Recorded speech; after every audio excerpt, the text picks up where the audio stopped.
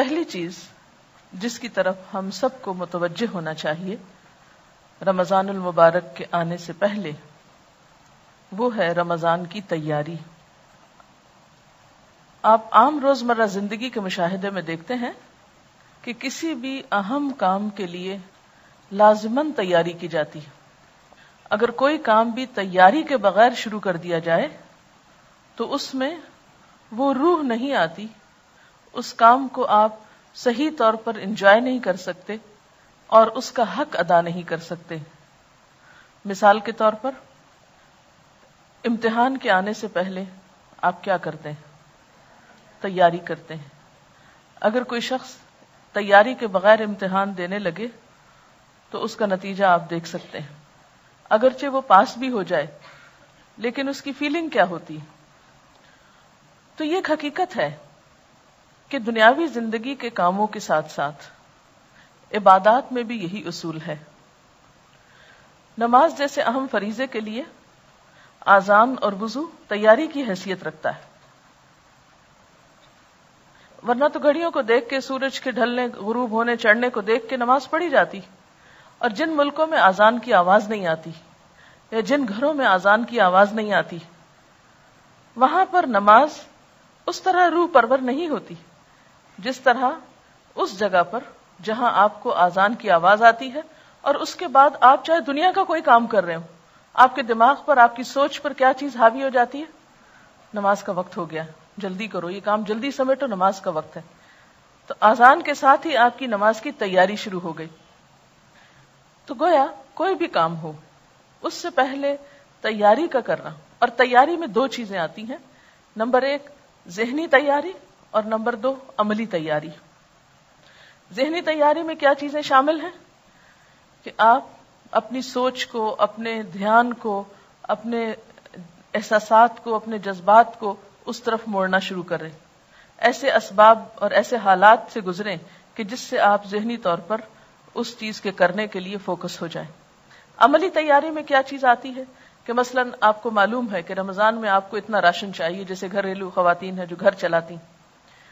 اتنا راشن چاہیے، یہ چیزیں خریدنا ہے، یا عید پہ کپڑے بنانا ہے، یا اور جو بھی آپ سمجھتے ہیں کہ آپ کو اتنے لوگوں کو روزہ افطار کرانا ہے، یا زکوٰۃ دینا ہے، یا صدقہ خیرات کرنا ہے، یا درس قرآن دینا ہے، یا جو بھی کام آپ رمضان میں کرنے والے ہیں، اگر بیٹھ کر رمضان سے پہلے ان کے بارے میں مذاکرہ کر لیں ڈسکشنز کر لیں، گفتگو کر لیں، تیاری کر لیں، عملی طور پر آپ بازار جا کر اپنا حساب کتاب کر لیں کہ کتنا خرید و فروخت کرنی یا منگوا لیں۔ اگر آپ خود نہیں جاتے تو بھی منگوا کے سب چیزیں۔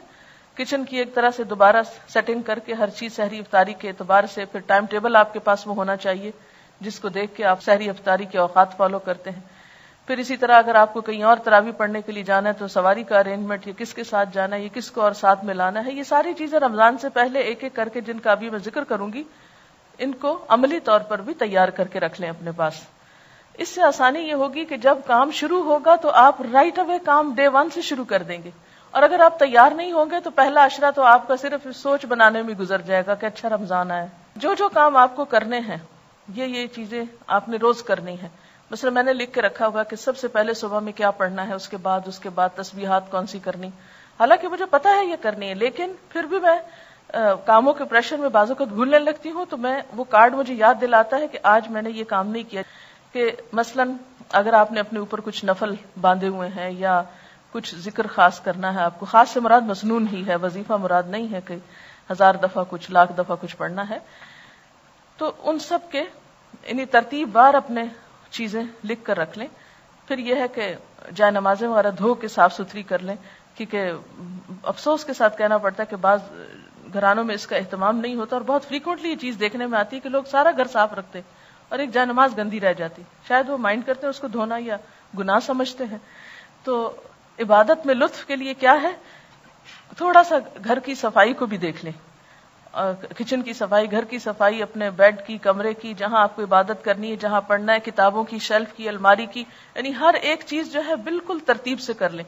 اور اتنی ترتیب سے کر لیں بلکہ میں تو بازو اوقات یہ کیا کرتی تھی کہ جو بیڈ بستر وغیرہ سال بھر اٹھتے رکھے جاتے ہیں، وہ میں رمضان سے پہلے چادریں، ہر چیز اس طرح ایسی جگہ پہ رکھ لیتی تھی کہ بس صرف ایک منٹ اس میں لگے اور ہر چیز جلدی جلدی تبدیل ہو جائے۔ اور لانڈری بھی رمضان کے لیے بچا کے نہیں رکھیں، سب کچھ واش کر لیں، کلین کر لیں۔ اور اس طرح آپ جب رمضان، جیسے لوگ عید کی تیاری کرتے ہیں، تو عید سے بڑھ کر آپ رمضان کے لیے عملی طور پر تیار ہو جائیں اور ساتھ ساتھ کارڈ پر ذہنی طور پر عبادات کی تفصیل لکھ کر وہ تیاری کر لیں اور پھر خاص طور پر یہ بات کہ کوئی بھی نیکی جو نفل کا درجہ رکھتی ہے عام دنوں میں، وہ رمضان میں فرض کا اجر و ثواب پاتی، جو عام دنوں میں نفل کا مقام رکھتی ہے وہ رمضان میں فرض کا مقام رکھتی۔ پھر اسی طرح فرض جو ہے وہ ستر فرض کے برابر ہو جاتا ہے۔ پھر اس میں ہمدردی اور غمخاری کا مہینہ ہے تو ایک دوسرے کے ساتھ آپ ہمدردی اور غمخاری کس طرح کریں؟ پھر اسی طرح شہر المواسات کے علاوہ خاص طور پر افطار کا جو اجر بتایا گیا ہے تو اس میں بھی آپ دیکھیے کہ گھر والوں کو بھی آپ افطار کرا سکتے ہیں۔ افطار پارٹی سے مراد نہیں ہے، اس سے افطار کرانا مراد ہے۔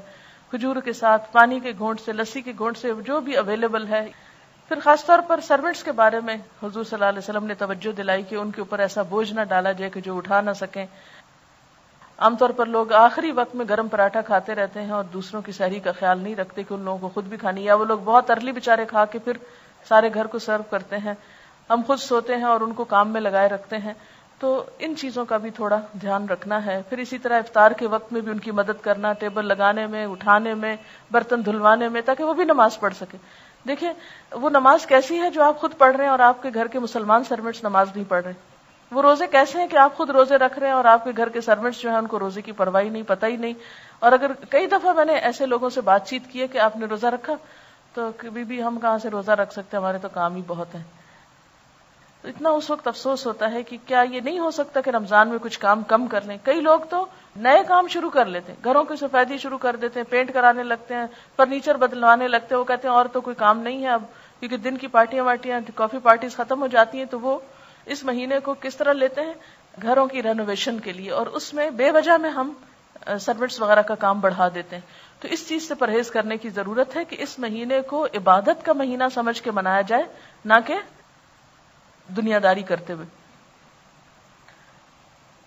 پھر اس میں آپ دیکھیے کہ جیسے آپ نے ذاتی کام جو کرنے ہیں، اس میں روزہ رکھنا ہے، اور روزے میں صرف روزہ رکھنا نہیں ہے، بلکہ کیونکہ حدیث میں آتا ہے نا، جس نے روزہ رکھ کے جھوٹ بولنا نہ چھوڑا اور جھوٹ پہ عمل کرنا اور لڑائی جھگڑا اور فوہش گفتگو اور ان چیزوں کو نہیں، تو پھر اس کا روزہ روزہ نہیں، کیونکہ روزہ صرف بھوکے پیاسے رہنے کا نام نہیں۔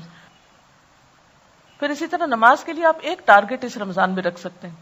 یا آپ یہ رکھ لیں کہ زیادہ نوافل پڑھنے، یا یہ رکھ لیں کہ خاص خوشو خزو کا، یا یہ کہ اول وقت یعنی کوئی ایک ٹارگٹ اپنا رکھ لیں۔